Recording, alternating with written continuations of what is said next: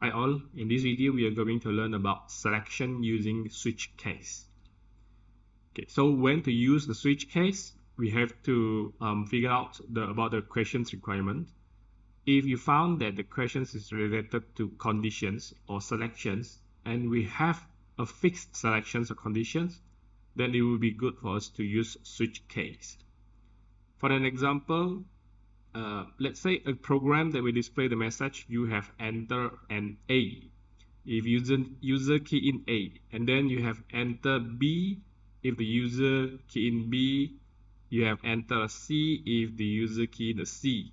Otherwise the program will display the message you have selected are neither A nor B nor C. So in this case it is very clear that the user may key in A or B or C. Otherwise the message will be displayed neither A nor B nor C. This is a clear case. So when we transfer um, the statements into switch case, first thing we have to do is we must declare a variable so that we can store the input.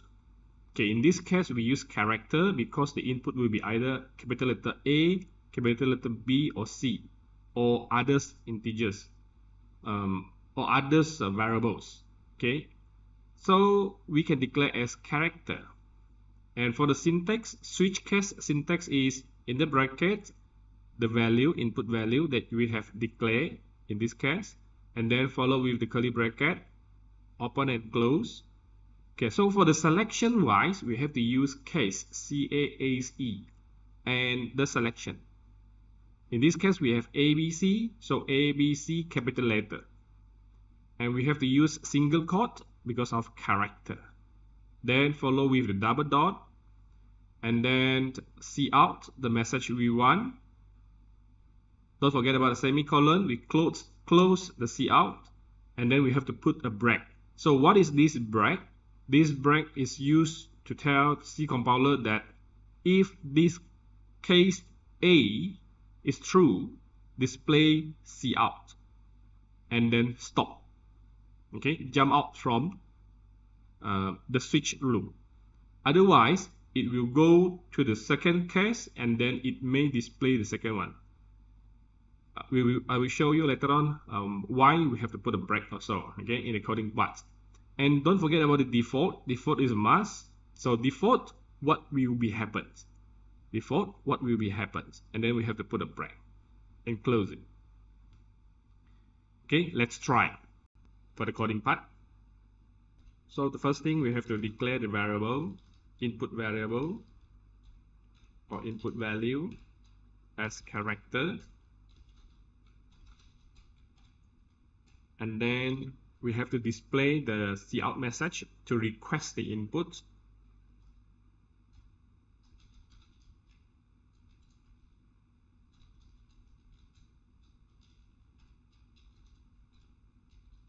So we request please enter A or B or C. That's all, A, B, C. Then we cin, we pass the input value to the input underscore value. And then we go to the switch case. So as the syntax said, it is a switch switch case.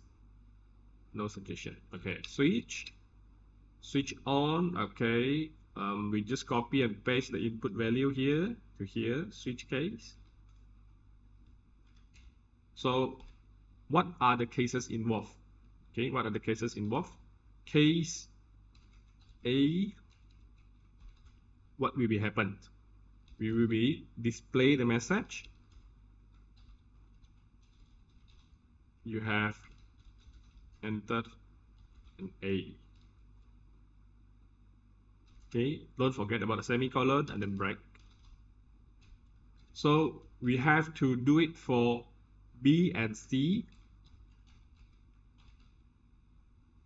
Change this to B, change this to C, and then correct the statements. We have entered a B, we have entered a C and what will be happen with the default? If the default happens then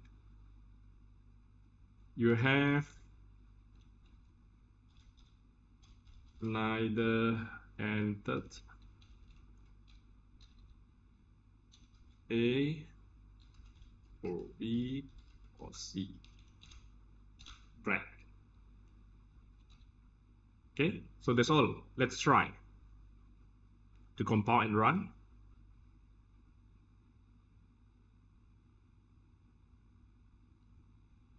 please enter A or B or C.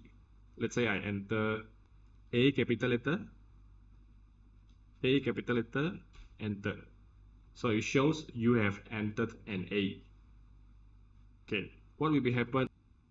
Okay, what will be happen if I try with C? So it will show you have entered a C. But what if I enter a small a letter of A.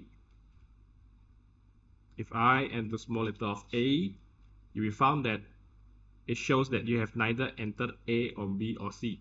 Why this happened? Because we didn't use small letter. So in case if you want to use or consider both capital letter and small letter, you, you have to enter another row here.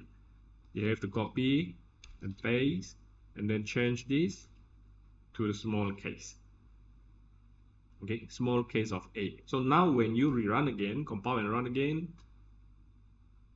you put small capital letter a small letter a enter it will tell you you have entered an 8 so what will happen if it is not abc in these rules? I let's say I put 4 okay which is an integer. Then it will show you have neither enter A or B or C. And then what will happen if we remove the break okay this one I remove it. Since you only need ABC let's say if I have forgotten to put a break and a break and a break okay case ABC no break so when I compile and run the program and I type A enter you will find that it will show you have entered an A, you have entered a B, you have entered a C, and then you have neither entered A or B or C. All statements have been displayed. Just because when it reach this statement as true, then it will immediately perform the second one, perform the third one. It will not break the loop for switch case. Okay, it will not check. Uh, no, it will check, but it just will not stop. It will display everything without a break. Okay, I hope it is clear for you. Okay, uh, let's continue for example 2. Let's say that if you have the second example, a program that will display the following message. It will display 1, the wording is 1, if the user key in an integer of 1. 2, 2, the wording is 3, after the user key in integer 3 and then 4 if the user key in an integer 4 otherwise the program will display message not 1 to 4 okay so in this case it is also very clear that the user only will insert a uh, sorry the user only will insert 1 2 3 or 4 to display 1 2 3 4 otherwise we have to display null 1 to 4 okay so when we change the syntax according Again, we must declare an input and later on we pass it to the switch case. Okay, so same switch case, refer to this input and then open and close bracket. But now our case is not ABC anymore. We have to change to integer. So for integer wise, we don't put double quotes or single quote. Okay, we only put number, integer 1, 2, 3, 4 and then we cout don't forget to put a break and we have to put default as well and what will be happens after the default case alright let's try okay now let's try for the second example second example is related to 1 2 3 so I don't change a lot over here so that we don't have to create everything um, the declaration part, it is not input input value, but in case it is a input number. Input number, but it is not character anymore because we are going to um, use integer. So I declare as integer. Please enter. We have four choices: one, or two, or three, or four. Only. Okay, so the input number that we have declared, we replace it with uh, this one and this part. And then now it is 1, 2, 3, 4 integer. So for this case, we change to 1, we change to 2, we change to 3, and 4.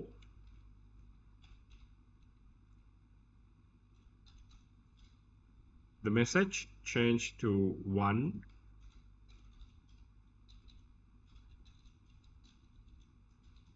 two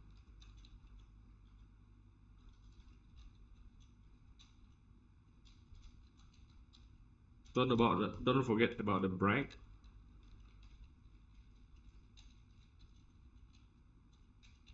okay what happened if it is not 1 2 3 4 not 1 2 4 okay Let's try compile and run. Please enter 1, 2, 3, 4 only. I enter 3. And then it will show 3. I enter 2. It will show 2. I enter 10. It will show not 1 to 4. Alright, so what happened again? Let's try if we remove the break for 3 and 4. So over here, case 1, it will break. Case 2, it will break. What happened with case 3? Compile and run. So let's say I type 3 as my input, enter, it will show 3, 4, not 1 to 4. So in such a case, it found that this is true, it will not break, and then it will go here, and it will go here. So what happened if it is case 1? Case 1, it shows or it display 1 dot, and then it will break. It should not display the other messages. Let's see. Please enter 1, I enter 1, and then it will display 1. So this is the purpose of using a break. Let's try and thank you for watching this video.